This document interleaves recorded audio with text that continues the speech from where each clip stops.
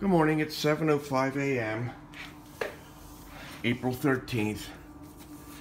I am going to finally tear off the hard work I did to protect me from the cold this winter. Well, geez, this is a little more than I. So, here we go. Scissors.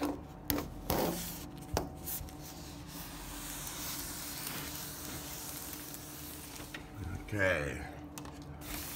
Oh my god, it didn't even puncture it. okay. Okay, there we go. Oh, wow. Look at the breeze. Wow, I feel it. Wow, this thing really did protect me against.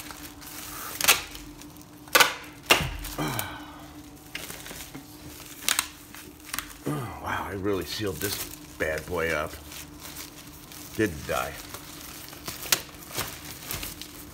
Wow, this thing was sealed like a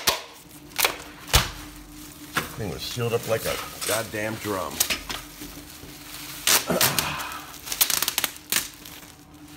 Well, here's the view, and the water's still running.